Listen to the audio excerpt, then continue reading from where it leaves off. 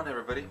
Today I'm going to be installing a uh, chain kit conversion for my uh, ooh, for my 2015 Dyna Street Bob. This is what I got.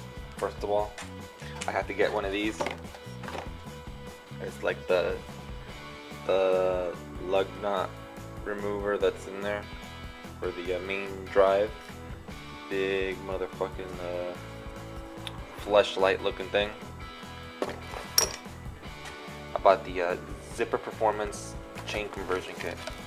So here's the sprocket. It's attached to the rear wheel arcade chain. And here's the rear the rear sprocket. I wanted it black. I didn't know it was going to be just regular old aluminum. I might get it power coated if that's a possibility. And then I got some tools. I got my jack and the bike. People ask me what kind of jack I have. This is a J&S All American Jack. It's a good fucking jack good and sturdy. So uh, first things we're gonna do is uh, remove the uh, remove the tire, and then we'll go from there. It's kind of getting late already, so we'll see how much time I have. Never done this project before. Don't try this at home. This will definitely fuck up your warranty.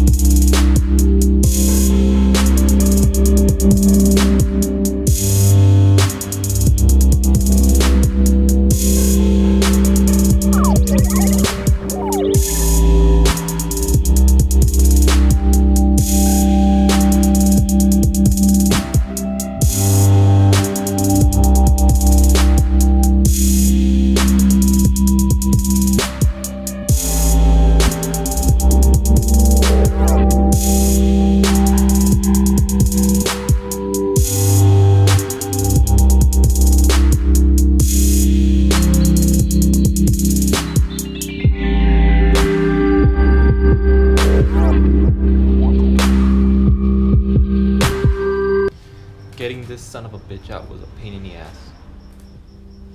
The uh, little clamp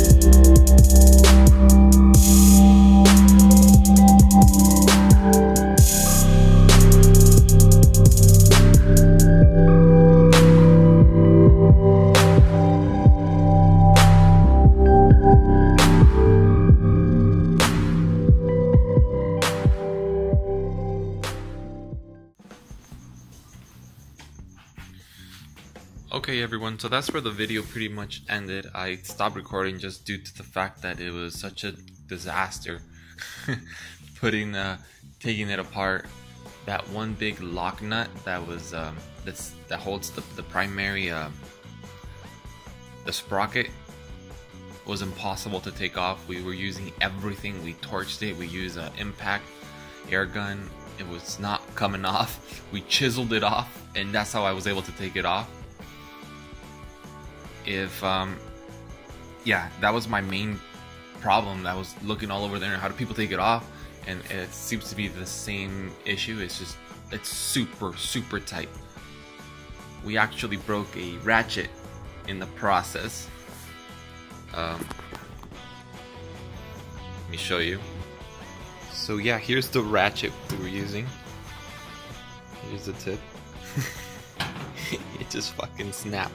I didn't have a a uh, a breaker bar at my disposal, so this is what I was using.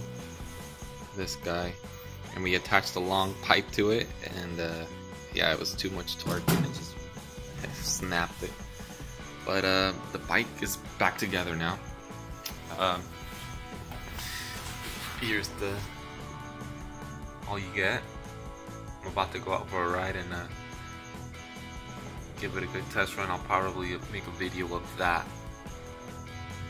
Little vlog. But uh, yeah. Oh, and I also installed these guys. I ordered the front, but I ordered the wrong part. I ordered the Sportster on accident, so I'm gonna return those and uh, get those back on, probably uh, within the next week.